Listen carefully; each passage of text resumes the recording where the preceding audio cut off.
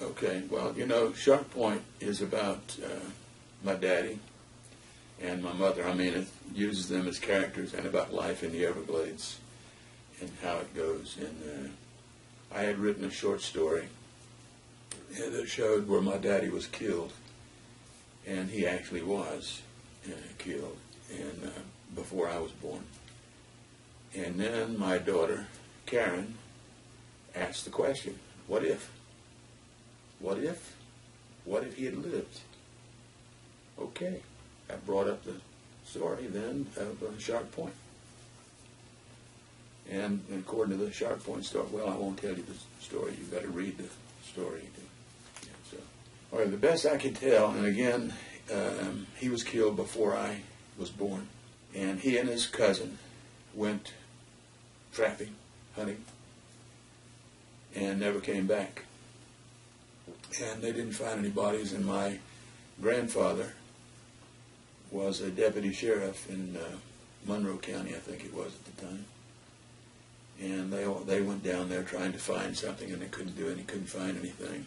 And uh, then some many years later, someone in a bar room admitted that they had killed my daddy and his cousin Robert. Well, they tell me that he was a very, very smart man and you know they lived down in the Everglades, of course, and uh, uh, they they brought teachers down there to teach the young kids. And at one point, the teacher said, "I can't teach him anymore."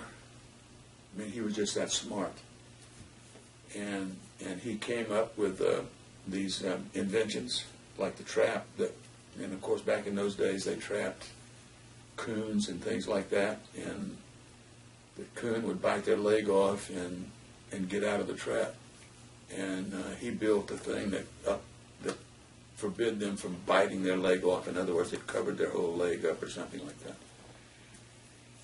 And another thing, he did something with uh, automobiles, and I can't remember exactly what it was now, but he had it had to do with the timing, because uh, back in those days, the old engines of the cars wouldn't stay timed right or something, and he invented something that would time that and sent it in, supposedly, the idea in to, uh, to uh, some lawyers in Fort Myers or something, and supposedly, according to the word I hear, they stole it from him.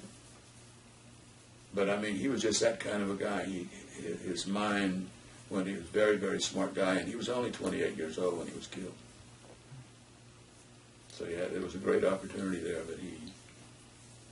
Shark Point is tells about life in the Everglades, and and what it was like, generally speaking.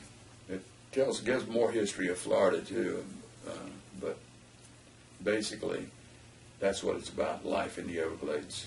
And Free at Last is uh, about a slave that's set free, and he wanders through uh, Florida history quite a bit of Florida history, and on down into Key West history, etc., etc. But it's about his life freedom. He's searching for freedom.